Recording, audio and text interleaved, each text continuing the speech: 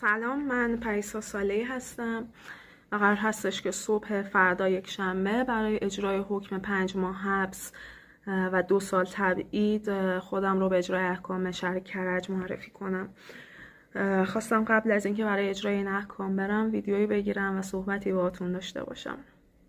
می‌خوام پیش از هر چیزی یادی کنم از برادرم توماج صالحی عزیز. که نوع زیستن و مقاومتش چراغ راه همه ما بوده.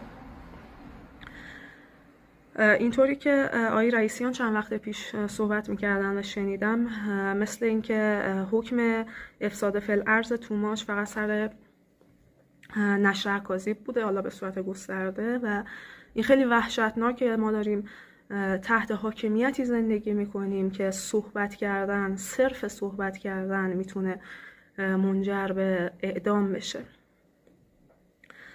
به هر حال زندگی توماج و بسیار دیگری از مبارزان راه آزادی به ما نشون داده که مقاومت تنها واکنشی نسبت به امکانهای موجود نیست. شاید این رابطه برعکس باشه. من معتقدم که این رابطه برعکسه. در واقع این امکانه که از دل مقاومت بیرون میاد. مقاومتی که این روزها به طور گسترده توی زنان سرزمینم دارم می‌بینم با وجود جنگ تمام ایاری که حکومت علیه زنان راه انداخته زنان همچنان مقاومت می‌کنند.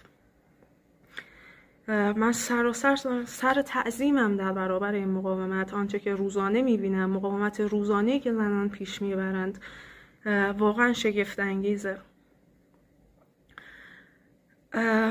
من صبح برای اجرای این احکام میرم. گرچه می‌دونم که اون چیزی که پیش روی منه در برابر آن چیزی که بسیاری از مبارزان راه آزادی بسیاری از زنان و مردان سرزمینم زندگی کردن و دارن می‌کنن شوخی بیش نیست. اما به هر صورت هیچ کدوم از ما مرتکب هیچ نوعی از جرم نشدیم.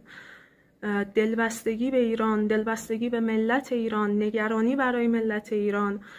به هیچ وجه جرم نیست. من این رو قبلا هم نوشته بودم همچنان هم بهش معتقدم. ما مجرم نیستیم. ما عاشق ایرانیم. ما عاشق ملت ایرانیم. و هیچ کدوم از اینها جرم نیست. و فقط و فقط به این امید زنده ایم که یک روز شادی و آزادی مردممون رو ببینیم. یک روز شکوفایی کشورمون رو ببینیم. در حال ما پای عهد خودمون هستیم. و تا آخرین نفس برای ایران برای زن زندگی آزادی خواهیم ایستاد. خیلی متشکرم. فعلا خدا نگهدارتون.